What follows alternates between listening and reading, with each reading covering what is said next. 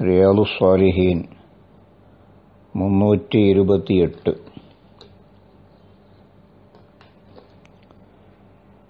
وعن أبي سروعة عقبة بن الحارث رضي الله عنه മഹാനായ അബൂ സിറുവാഴത്ത് ഉക്കുബത്ത് ബിൻ ഹാരിസ് റളിയല്ലാഹു അൻഹു ആണ് പറയുന്നത് അദ്ദേഹത്തിൻ്റെ ഒരു അനുഭവം നാമുമായി പങ്കുവെക്കുന്നു അന്നഹു തസവജ ഇബ്നത്തിൽ അബി ഇഹാബിബിനി അസീസിൻ. അബൂ ഇഹാബിബിനി അസീസ് എന്നവരുടെ മകളെ അബൂ സിറുവായത്ത് കല്യാണം കഴിച്ചു. ഫാത്തത്തുഹു ഇമ്രഅത്തുൻ അപ്പോൾ ഒരു സ്ത്രീ അദ്ദേഹത്തിന്റെ സമീപത്ത് വന്നു. ഫാലത്ത് എന്നിട്ട് പറഞ്ഞു ഇന്നീക്കത് അർലാഴത്തു ഒക്കുബത്ത വല്ലത്തി കത്തസുവജബിഹ ഞാൻ ഒക്കുബക്കും ഒക്കുബ കല്യാണം കഴിച്ച സ്ത്രീക്കും മുല കൊടുത്തിട്ടുണ്ട്. രണ്ടുപേരും മുലകൊടി ബന്ധത്തിലുള്ള സഹോദര സഹോദരിമാരാണ് എന്ന് പറഞ്ഞു.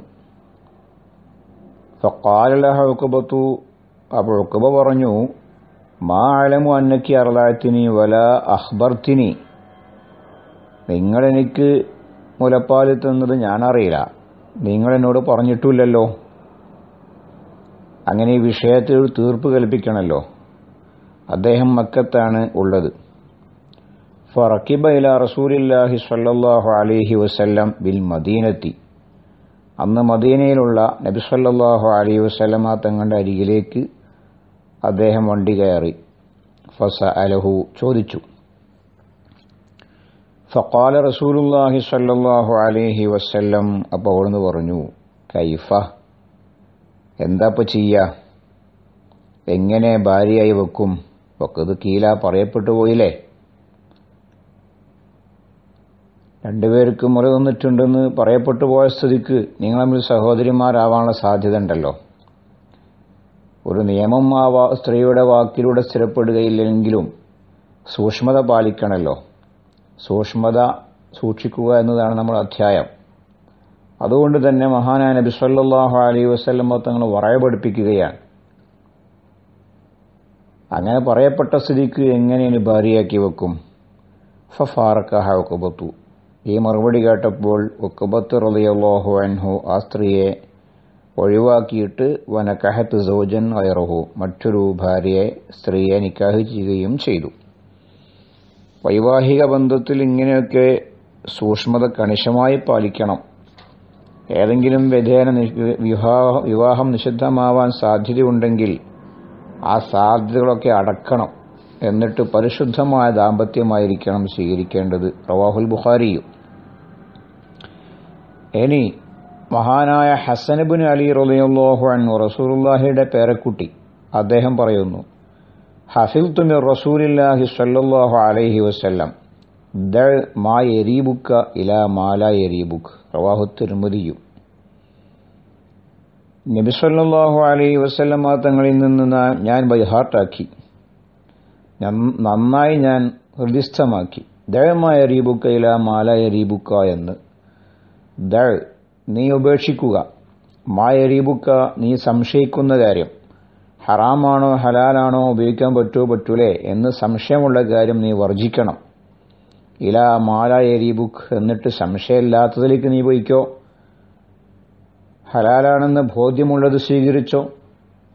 അങ്ങനെ ഹറാമിലേക്ക് ചേരാനുള്ള സാധ്യത നീ ഒഴിവാക്കണം എന്ന് മഹാനാ നബി സല്ലല്ലാഹു അലൈഹി വസല്ലമ തങ്ങൾ പറഞ്ഞത് അവിടെ ഞാൻ ബൈഹാർട്ടാക്കി. ഇമാം തിരുമതി റലിയുള്ളാഹു എന്ന് പറയാൻ. ഇനി ആയിഷ ബീബി റതിയുള്ളാഹു എന്ന് പറയട്ടെ. കാനടി അബീബക്കരിൻ സിദ്ദീഖ് റളിയല്ലാഹു ഒലാമുൻ യുഹുറുജുലഹുൽ ഹറാജ് തന്റെ പിതാവാകുന്ന അബൂബക്കർ സുദ്ദീഖ് റളിയല്ലാഹു അൻഹുവിന് അടിമയുണ്ടായിരുന്നു. ആ അടിമ മഹാനവറുകൾക്ക് ഹറാജ് കൊണ്ടുപോയി കൊടുക്കും. ഹറാജ് എന്ന് പറഞ്ഞാൽ അടിമക്ക് യജമാനൻ പണിയെടുക്കാൻ വേണ്ടി അധ്വാനിക്കാൻ വേണ്ടി സമ്മതം കൊടുക്കും. ആ അധ്വാനത്തിൽ നിന്ന് ഒരു വിഹിതം യജമാനന് ബാക്കി അടിമക്കും കൊടുക്കുക. ഇങ്ങനെ ചെയ്യാറുണ്ട്. അപ്പോൾ ഈ അടിമക്ക് മഹാനായ സുദ്ദീഖ് റളിയല്ലാഹു അൻഹു അങ്ങനെ സമ്മതം കൊടുത്തതാ.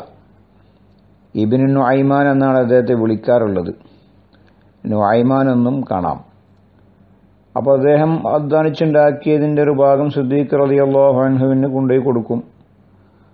ബാക്കി അദ്ദേഹം എടുക്കും.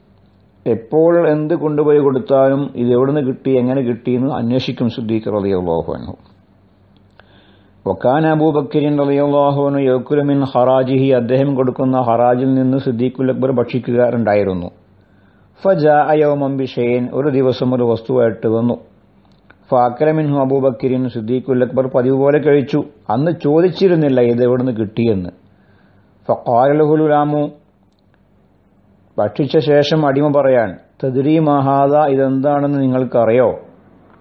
മറ്റൊരു വിവാദത്തിലുണ്ട് എല്ലാ പ്രാവശ്യവും അങ്ങനോട് ചോദിക്കാറുണ്ടായിരുന്നല്ലോ എന്തേ പ്രാവശ്യം ചോദിക്കാതിരുന്നത്? എന്നും ഒരു വിവാദത്തിലുണ്ട്. സിദ്ദീഖ് തങ്ങൾ ചോദിച്ചു ഒമാഹുവ അതെന്തായിരുന്നു നീ തന്നത്?